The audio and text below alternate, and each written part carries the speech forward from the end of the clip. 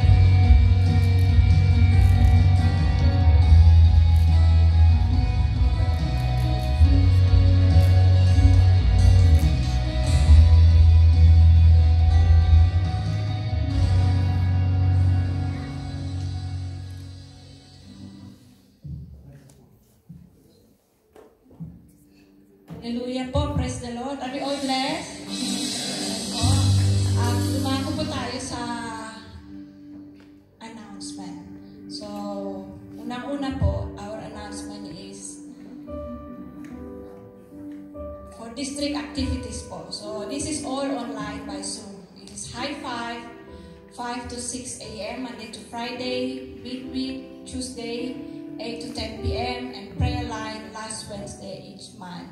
8.30 to 10 p.m. Anyone are welcome po to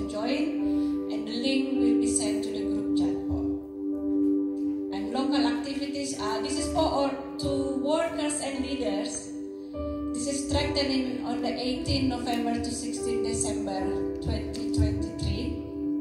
I believe the place will be in the hall somewhere closer to Horley. So this is very important for leaders and workers we need to be um, kailangan po ito is to um, to strengthen us so this I believe, I believe this is every Saturday po for the next fifth Saturdays from the 18th until the 16th of December please um, prepare make a time for this po um, next announcement is our local activities which is um, you know, prayer meeting um, every uh, every 2 to 3 p.m. po bago mag-Sunday service. And then uh, we have our own dawn watch every Saturday 5 to 6 p.m. 6 a.m. via Zoom. And our worship word and wonders is every last Saturday of the month, which is next Saturday po. Everyone are welcome at 2 p.m. at St. Nicholas Sutton's Dance Studio. And evangelism po, time and date um, uh, Sister Grace will be announced po. And our Sunday Guilford Bible Study Sunday service every second, fourth, and fifth Sunday every month. Thank you po. Let us all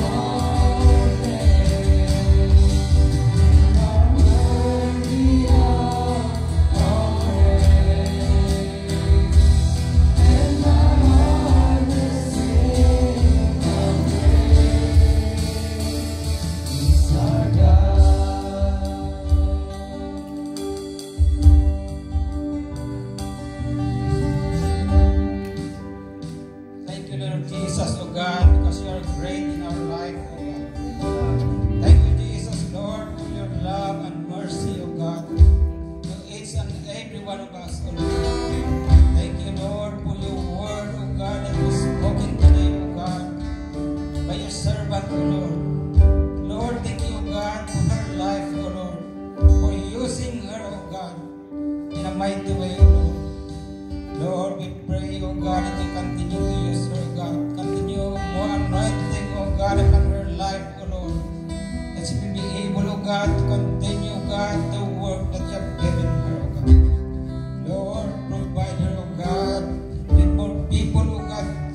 with her, O God, in evangelism, O God. Lord, we pray, O God, that you get to bless her, O God, and guide her life.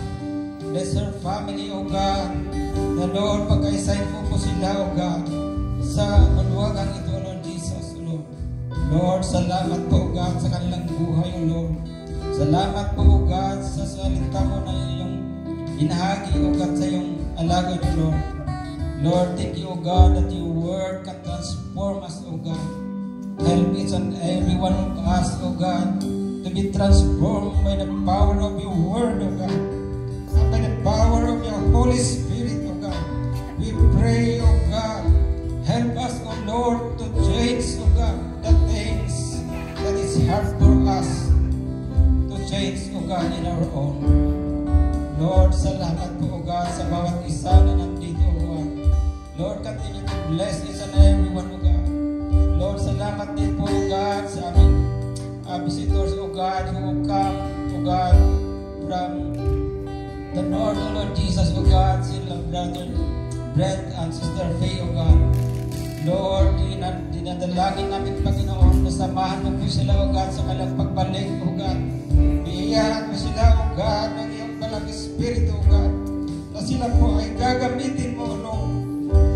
Use O God, in a mighty way, the Lord, O God. Lord, thank you, O God, for providing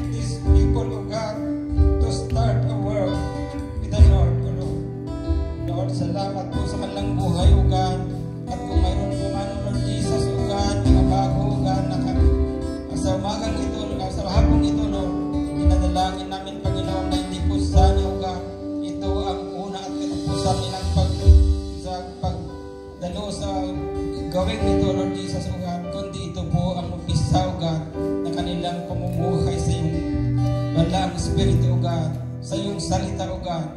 Lord, salamat po, O God. Thank you, Lord God, that you can transform lives, O God.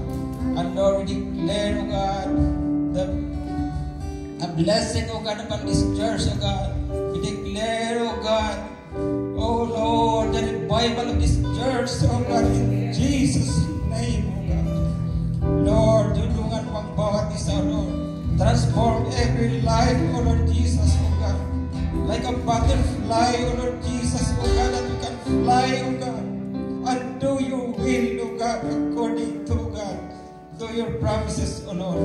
Salamat po, Panginoon, sa hapong ito, Lord, na ikaw po ang gagabay sa lahat sa pansamantala namin, O God, na pag, ah, tapos na itong gawain ito, Lord Jesus, Lord. Samahan mo pang bawat isa, O God.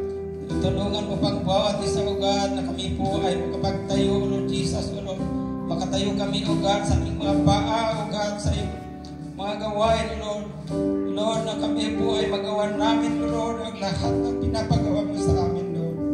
Salamat, O God, sa iyong mga tao, Lord Jesus. Thank you, O God, for the uh, your presence, O God, in this place, O Lord. And we declare, O Lord Jesus, blessing upon blessing, O God. And Lord, we give the love of the God and the grace of our Lord Jesus Christ, O God, be with every one of us. In Jesus' name, Amen.